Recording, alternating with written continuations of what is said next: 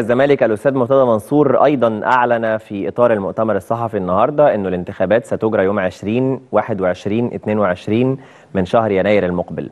والحقيقة إن القصة دي جدلية جدا وهو بنفسه أكد ده لما قال إنه هيعمل الانتخابات طبقا للائحة الخاصة بيه بما إنه حصل على حكم بإن اللائحة بتاعت نادي الزمالك في عهد مرتضى منصور هي الصحيحة وليست باطلة. في الوقت اللي الزمالك طول الفترة الماضية بعد برضه حكم بيسير طبقا للائحة الاسترشادية.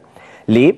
بقت جدلية لأنه الانتخابات هتجرى بأشكال مختلفة، لو هي اللائحة بتاعت الزمالك بتاعت مرتضى منصور معناها إن هي هيبقى فيها اتنين فيها نائب وفيها ما فيهاش حد تحت السن فشكل مجلس الإدارة نفسه مختلف بعكس اللائحة الاسترشادية اللي فيها رئيس ونائب وأمين صندوق وفيها أعضاء تحت السن إلى جانب الأعضاء اللي فوق السن، وبالتالي إزاي الانتخابات أساسا تجرى وأنت لسه مش محدد هتجرى على أي لائحة، هو قال إنه سيتم اللجوء إلى لجنة الفتوى والتشريع وهي اللي هتحكم. دي تابعة لمجلس الدولة. أمر طبيعي أمر منطقي. لكن القصة إن هي بتاخد القرارات أو بتصدرها في بعد شهرين أو خلال شهرين.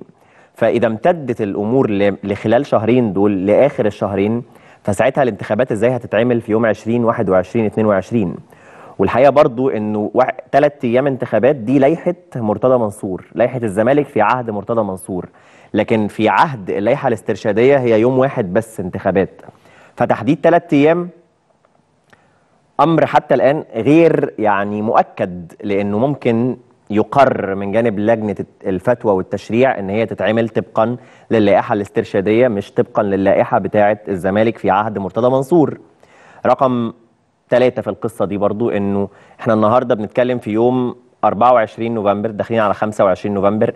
إعلان إن هي في فترة 20 21 22 معناها إن هي بعد 45 يوم معناها إن ده طبقا للائحة. لكن هو لو لجأنا للائحة الثانية هيبقى في 15 يوم. معنى كده إن حتى الآن كل التاريخ بتاع 20 21 22 هو مجرد تاريخ مبدئي لحين الفصل في إن الانتخابات هتتعمل على أي لائحة. وبالتالي ما تقدرش ابدا تجزم إن انتخابات الزمالك في الثلاث أيام اللي أعلنهم رئيس نادي الزمالك حاليا إلا لما يصدر القرار.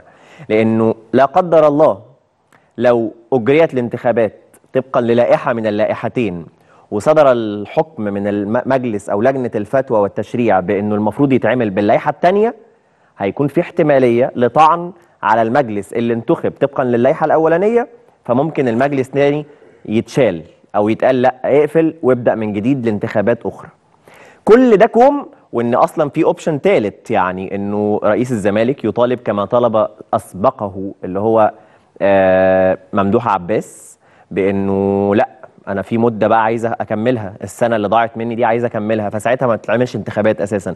كل دي يعني احتمالات وزي ما قلت لكم لا وضوح تام في الصورة. مفيش معلومة كاملة أقدر أوضحها لحضراتكم. ده علشان عارف إن أنتوا بتستنوا على قد ما تقدروا مننا يعني معلومات فبنحاول على قد ما نقدر إن إحنا نجيب معلومات متاحة وتحليل لما يقال من تصريحات على أي حال.